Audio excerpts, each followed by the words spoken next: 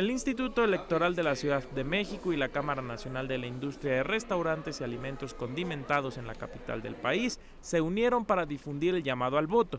Para ello anunciaron que el próximo 20 de junio a las 7 y media de la noche se transmitirá en directo el último debate de candidatas y candidatos a la jefatura de gobierno en los restaurantes afiliados a esta Cámara.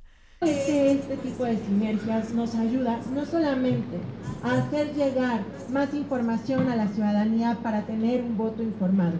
En la Ciudad de México hay cerca de 50 mil establecimientos afiliados a la Cámara Nacional de la Industria de Restaurantes y Alimentos Condimentados.